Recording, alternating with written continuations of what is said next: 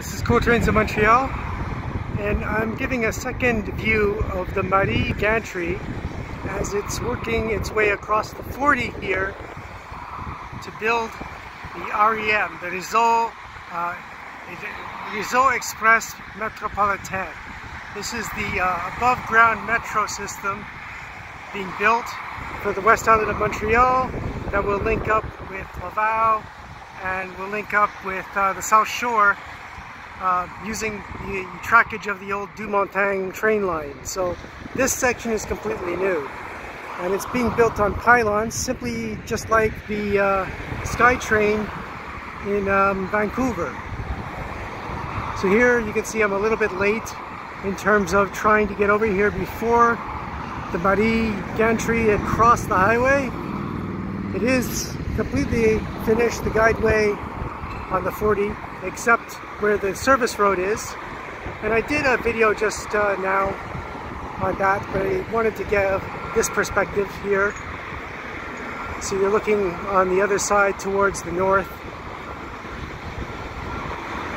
They are working on this today. This is uh, the 14th of August 2021 the last video I did of this uh, REM gantry as it worked its way through the West Island was uh, it was on um, September uh, 8th I believe it is like on uh, Labor Day so in that time they've completed the, the guideway all the way through Pointe-Claire the industrial park and crossed the highway and built these lintels here and pylons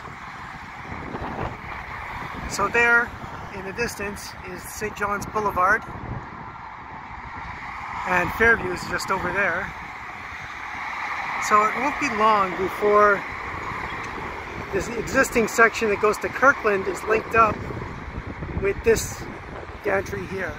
And that would finish the leg of uh, elevated guideway from Bois, from Bois, Bois uh, de Liesse in um, in uh, Dorval, I guess, or in Saint Laurent, as far as Sainte-Anne de Bellevue. And then this gantry will probably work on the Deux-Montagnes line somewhere. It will traverse the uh, elevated guideway and go to a new construction site. And this one I would imagine would probably eventually work on its way towards the uh, pylons that are being built on the old Deux-Montagnes line.